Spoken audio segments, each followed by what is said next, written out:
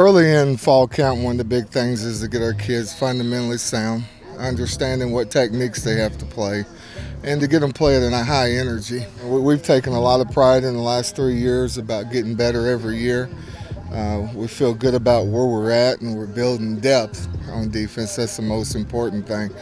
And this team is really focused on getting the first one. Uh, let's get blue, Bluefield, and we'll worry about the next one after that. You know, I get, we got our boys. We we know we we know we got, and uh, we just with with some of these guys, they just coming from a coming from a high school, you got a lot to learn. The game's a lot faster.